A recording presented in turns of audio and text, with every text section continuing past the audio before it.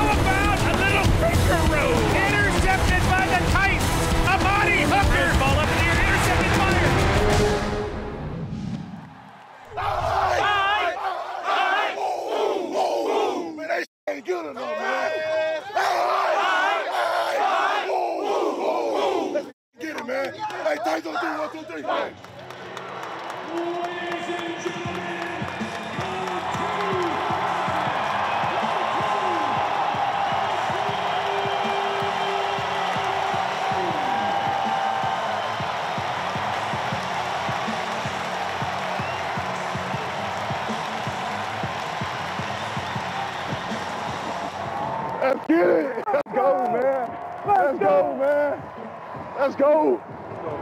Great. Let's go, bro. Have a day.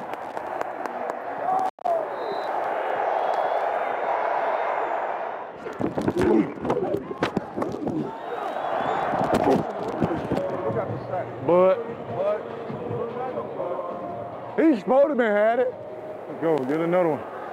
Jones dropping under pressure, steps up, hit again. Zach! Dupree and Simmons combine for a crush.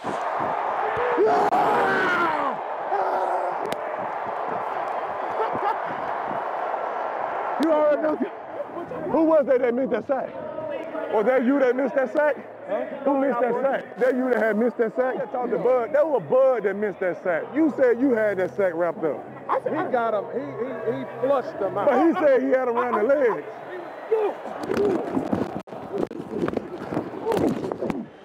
Jones staying in the gun.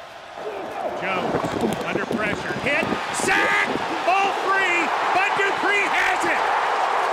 What a play by Big Jeff. That's a takeaway for Big Bud. Keep going. Let's go. Come on. Come on. I said ball. I said ball. Sack TFN, fourth one. That's my first strip sack ever. hey, bro. Don't look at me like that again, bro. I had got some paper in my mouth, bro. Forgot I was mic'd up. I swear I forgot I was mic'd up. Oh, Hold oh, oh, it.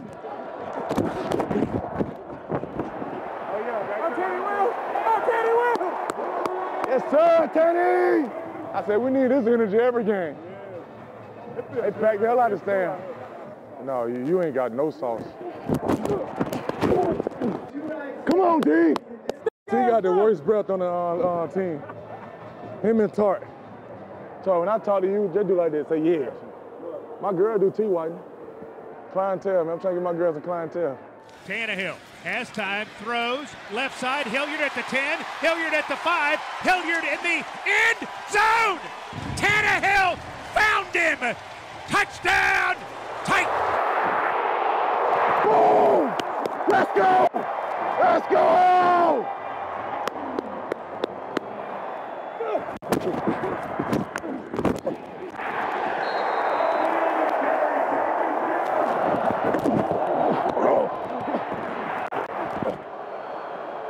Jones Sends Barkley in motion left. Jones looking. Jones throwing back shoulder. Intercepted! Intercepted by the Titans. Amani Hooker stepped in front of Barkley and saved the day. That deserves a hell yes!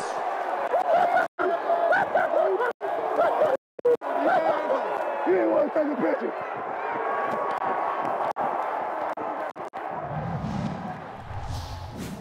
Welcome to Titans All Access and the Bet MGM studio with Amie Wells. I'm Mike Keith. Pleased to be joined to open this program by General Manager Jon Robinson, and we're talking ball presented by Dunkin'. Titans preparing for Monday Night Football with the Buffalo Bills. So, Jon, little extra time coming off game one, time for more practice, more meetings. What's the team really been working on since your season opening game with the Giants? Well, I think improvement, Mike. I mean, there were certainly some things that we did well in that game, but also, it, you know, we've said before, it comes down to five or six plays that when you don't execute them properly, you know, the outcome usually doesn't bode in your favor. So really identifying those guys, working through practice, in meetings, stressing the points, so when those present themselves again, we can execute them properly. What was your impression of the Titans rookies in the season opener? Well, I thought we got production out of several of those guys, really in all three phases offensively, defensively, and in the kicking game. There were certainly some positive plays that all of them made, but also some teachable moments, like any young player, that we can coach up and, and hopefully improve on. Let's talk about Buffalo, your opponent this coming Monday night. What impressed you about their opening win over the Rams on September the 8th? Yeah, really impressive in all three phases of the game offensively, defensively, and in the kicking game. You know, Josh Allen, everybody knows who he is. He's got a lot of playmakers in Diggs, Knox, McKenzie. Davis made some plays for him down the field. I thought the line did a good job protecting for him. And then their defense, it was really attacking up front. You know, with Von Miller, Daquan Jones showed up on the inside, Phillips on the inside, Ed Oliver. They got two great safeties in Poyer and Micah Hyde. Both of those linebackers were running fast and getting to the ball, Edmunds and Milano. So, you know, really complementary offensively, defensively, and special teams, uh, and they played well. Does it help you prepare that you've seen the Buffalo Bills the last four seasons in a row? Yeah, it feels like they're in our division. Um, but, uh, it, you know, from an X's and O's standpoint, you know, coaches always kind of tweak a little something here or do a little something different there. But from a player standpoint and a, you know, personnel standpoint, you at least kind of have an idea of the skill sets of the guys that you're going to go against. This player, he kind of, I remember he did this or, you know, he did that and I thought I could take advantage of it. So, knowing the you know the skill sets of the players certainly is beneficial when you've got you know some some consistency playing against an opponent every single year. Jon, what do the Titans have to do well Monday night to win at Buffalo? I think improve on the things that you know we talked about earlier in the show and, and, and, get better at those. I mean, it's a raucous environment up there. We know that we're going to have to handle all of the distractions with playing in Buffalo that, that comes with that. You know, but offensively, we, have got to establish a run game. You know, we've got to protect Ryan. Guys got to get open quick because we know that rush is coming. And defensively, we, we know the problems that Josh poses as a runner and as a thrower. So we've got to be disciplined in our rush lanes because he can escape at any moment and, and take off running. There's a lot of playmakers downfield. We've got to be sticky in our coverage Uh, and we've got to be really sure tacklers. Now we've got to ask you, we saw Amani Hooker make some big plays in last Sunday's game. What led you to extend his contract last week? Well, I mean, Amani has came in and improved every single year. It started on special teams. He was a personal protector on the punt team. He carved out more of a role defensively. He was a sub starter for us defensively.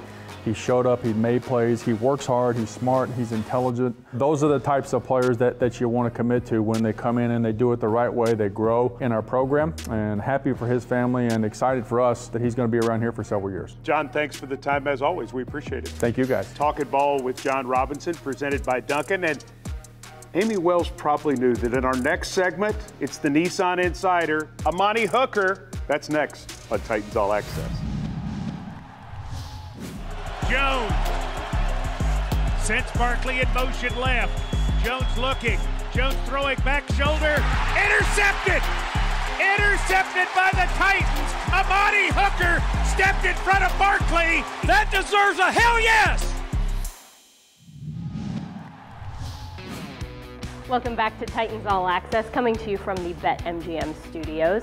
Last week, Titan safety Amani Hooker received a contract extension, keeping him in the two-tone blue for years to come. And Mike Keith had the opportunity to sit down with him to talk about how he has become a leader on the Titans defense.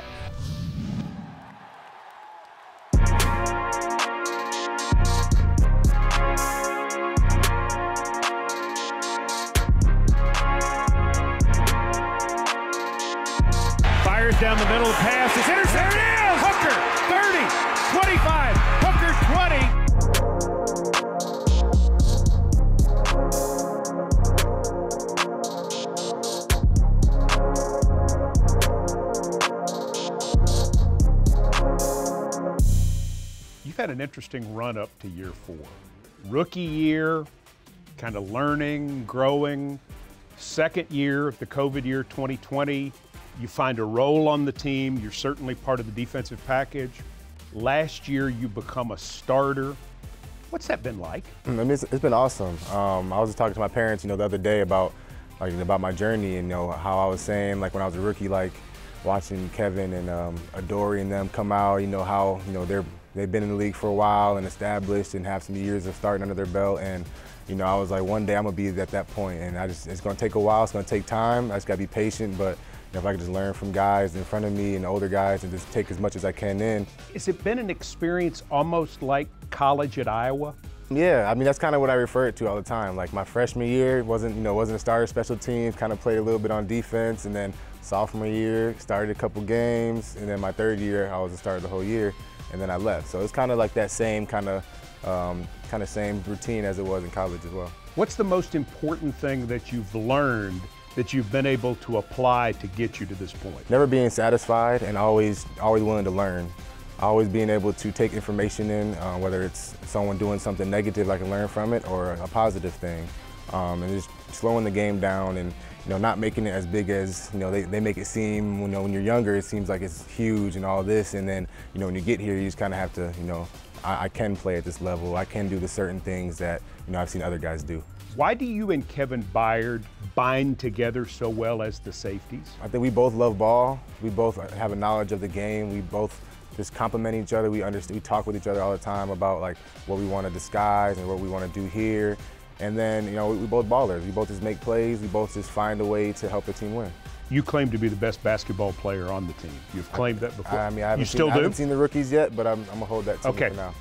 But you and Kevin are like a backcourt in basketball, mm-hmm. Yep. complementing one another in that way. Is that a, a good comparison? Yeah, it's like two point guards out there. It's like literally like we want to get guys lined up if we can. If someone makes a mistake, we'll, we'll, we'll hopefully we can help them out and communicate and you know get guys lined up. And that is kind of how it is like a basketball. You know, just making sure that you know we're not technically giving assists as like passing the ball, but you know we're assisting by you know giving help to where it needs to be and assisting by helping guys out. What was your welcome to the NFL moment? I'd probably say it was Odell Beckham the first the first game of the year. We had Nick Chubb and I'm and then you had Myles Garrett. I'm watching them. It's, it was crazy. It was pretty sweet. What's the goal for 2022? Super Bowl, honestly. I mean that's I mean that's personal for me. I mean even though it's a team goal, but like that's always been a personal goal. Hey guys, Coach Mack here with this week's Beneath the Surface, powered by Microsoft Surface, beginning now. Today we're going to look at three draft picks of the Tennessee Titans in their inaugural National Football League game and watch all three of these young players make considerable contributions to the game for the Tennessee Titans. This first one we're going to look at is Kyle Phillips. This is fourth and one. He's going to be back there as the punt returner. We got single press on the outside. We've set up a return. The punter hits a sky ball Watch Phillips do a nice job of setting it up, gets a nice block on the right side. He sets up his return, comes up inside, moves outside, then he comes back and gets it to the sideline. This is a very good job. First of all, it's really good field awareness by him, understanding that the gunner coming down to his right is going to be taken to the outside. He sets it up, makes a move to the outside. Now, once he starts to the sideline, he uses his wall and breaks back to the inside, breaks two tackles on his own. Very, very beneficial when you can flip the field like this with your punt return team. This next play we're going to look at down here on the bottom, you can see that you're in an offset stack with the receivers on your offensive right side. Now, watch the switch release.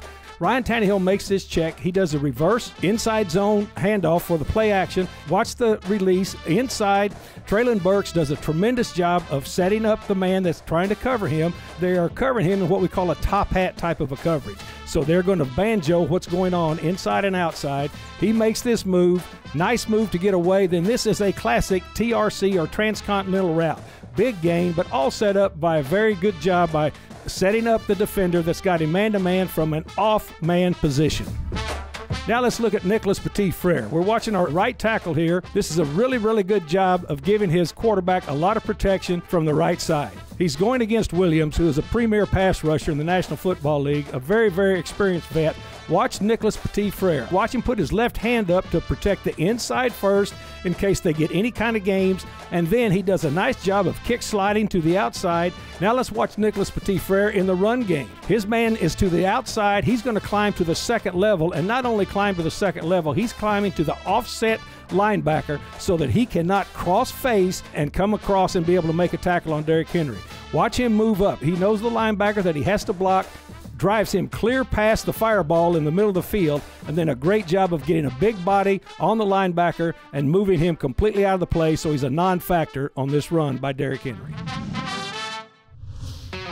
Now, speaking of rookies, this Tennessee Titans great may have secured his spot in the Hall of Fame back when he was a rookie. You want to know more? Have I piqued your interest? Good, stick around. Welcome back to Titans All Access. Jevon Kearse had one of the best performances of his career against the Buffalo Bills in a little game we like to refer to as the Music City Miracle game. He had two sacks and two forced fumbles, and now he's getting some recognition. Jevon returned to Nashville to be inducted into the Tennessee Sports Hall of Fame, and we were there to cover the whole thing. What's up, guys? Just here in Nashville, Tennessee, getting inducted into the Tennessee Sports Hall of Fame and stuff. We're gonna have a little fun. Proud, proud, proud. Jevon Kearse will always be one of my very favorites because I remember when he was drafted as the very first Titan. I remember the excitement of our fan base to get an SEC player, to get a guy who had the personality he did, the great nickname, the freak, and then for him to go out and perform the way he did in his rookie year. This franchise had never had anybody like him and probably hasn't since. It's an honor. It's one of those things that I didn't think it was going to happen to me. I mean, I think mainly because I'm, I'm not from Tennessee, but I put some work in here in Tennessee, so I think it is well deserved. He, he gets what I'm saying. The man gets it. He gets it. This is the easy part. I put in all the work to do this right here. I should. Yes, I deserve did. this. Well, that- well, well, good to see you. no, it's Thank pleasure. Yes, pleasure. sir. Yeah. I want to get on all the halls and all the walls, man.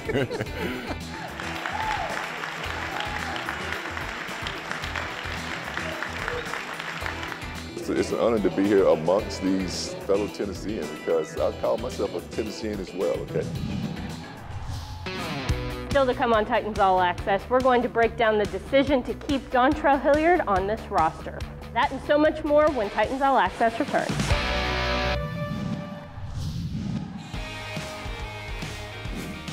Welcome back to Titans All Access. It's time for the Hughes and Coleman decision of the week.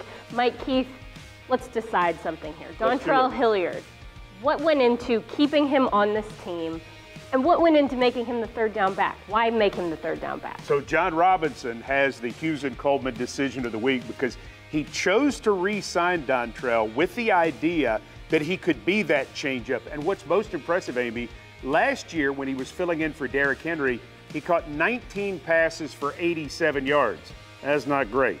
Sunday against the Giants, three catches, 61 yards, two touchdowns. Give Jon Robinson the credit for seeing it.